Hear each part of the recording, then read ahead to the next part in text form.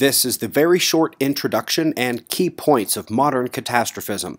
The goal is simple to deliver the critical points that make this information worth knowing, and then give you the longer version to answer the dozens of questions you'll undoubtedly have at the end.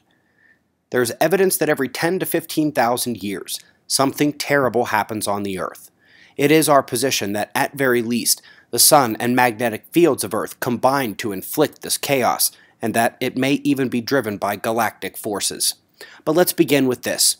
It is official mainstream science, recently confirmed in the number one geophysics journal on Earth, that magnetic excursions cause extinction.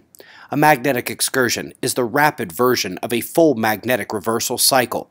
Now, while the major flips of planetary magnetism occur hundreds of thousands of years apart, these shorter flips and immediate flips back occur over shorter timescales and include the high radiation bombardment of the low field strength state.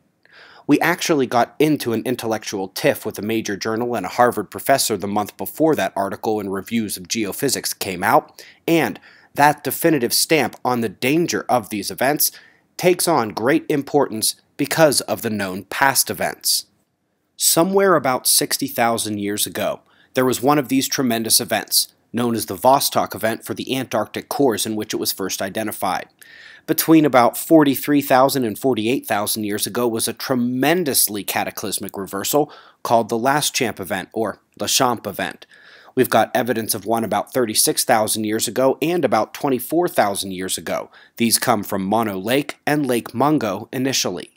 And of course, the Gothenburg event is recorded at various places around the globe, new enough to not need a highly protected earthly evidence vault at an age of only about 12,000 years ago. Well, math genius or not, that paints a pretty clear picture of a cycle. And here we are, 12,000 years from the last one.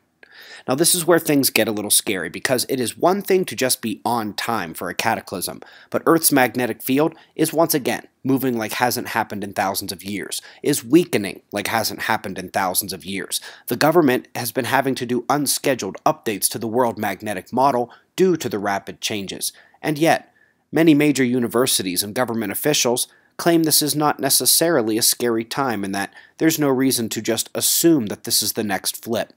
I actually see no reason to assume that it's not, especially given the stakes, recently confirmed again by the world's number one geophysics journal. And here's where the story goes deeper.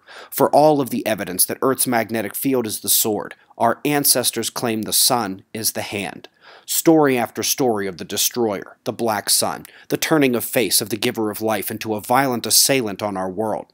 Recent physical evidence suggests the sun may be a long period recurrent micronova progenitor. The Great Flash, the aftermath, and the shift in the solar system leading up to it have left behind evidence not only in story, but in rock, ice, mud, and bone.